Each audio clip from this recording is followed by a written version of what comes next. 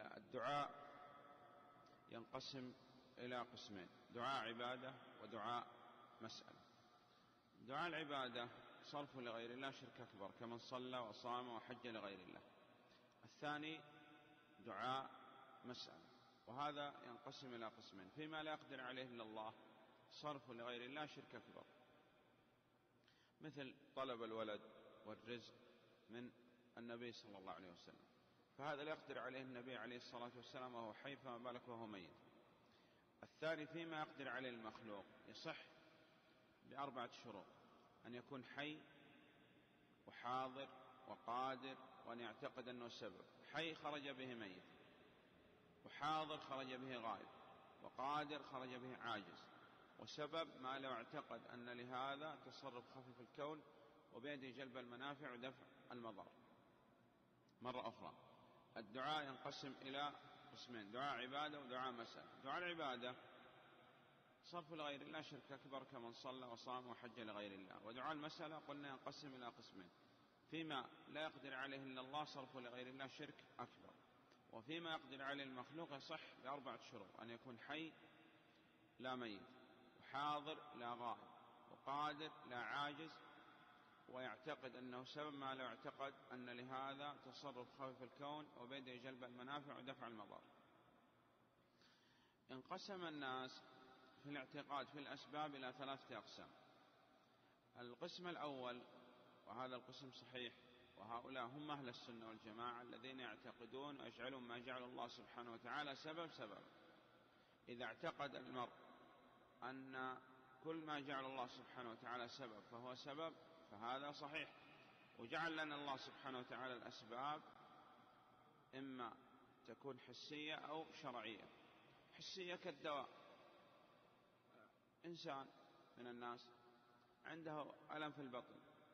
يذهب إلى الطبيب ويأخذ منه دواء ويشرب هذا الدواء يقول بسم الله اللهم اجعل فيه شفاء. هذا اعتقد وجعل ما جعل الله سبحانه وتعالى سبب سبب. هذا سبب حسي. أو يأخذ شيء من الأعشاب مثلا أو من النعناع ويضع عليه شيء من الماء الحار والسكر ويشرب. هذا يعتقد ويجعل ما جعل الله سبب سبب. هذا حسا. أو مثلا يضع يده على بطنه ويقرأ الفاتحة مثلا. فهذا سبب شرعي رقية شرعية. إذا القسم الأول إذا اعتقد وجعل ما جعل الله سبحانه وتعالى سبب سبب هذا صحيح. الثاني أن يعتقد ويجعل ما لم يجعل الله سبحانه وتعالى سبب سببا يلبس التمائم والودع ويضع رأس الثور ويعنى الذئاب والحافر والنعل القديمة وإطارة السيارات وخرق وبعض الأشجار ويكتب بعض الكتابات على يعني مثلا على المنزل أو على السيارة. عين الحسود لا تسود مثلا. فهذا اعتقد وجعل ما لم يجعل الله سبحانه وتعالى سبب سبب. وهذا الفعل شرك أصغر.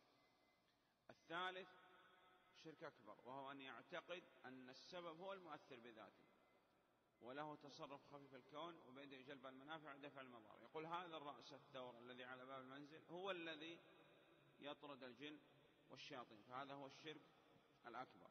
إذا انقسم الناس في الاعتقاد في الأسباب إلى ثلاثة أقسام. الآن عندنا الدعاء ومثل الدعاء الاستعانة. هل يصح الاستعانة بالمخلوق فيما يقدر عليه؟ نعم بأربعة شروط أن يكون حي وحاضر وقادر وسبب. مثاله نريد حمل هذه الطاولة مثلا. فجاء هذا الأخ وقال لفلان يا فلان أعني في حمل الطاولة. يصح؟ حي وحاضر وقادر وسبب كذلك الشفاعة.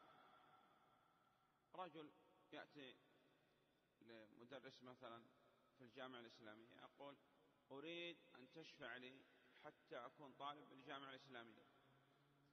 حي وحاضر وقادر ويعتقد أنه سبب يصح؟ يصح ولا أشكال. إذا مثل الدعاء الاستعانة والاستعاذة والاستغاثة والشفاعة. يصح أن تطلب من المخلوق فيما يقدر عليه بأربعة شروط أن يكون حي حاضر وقادر وسبق طيب.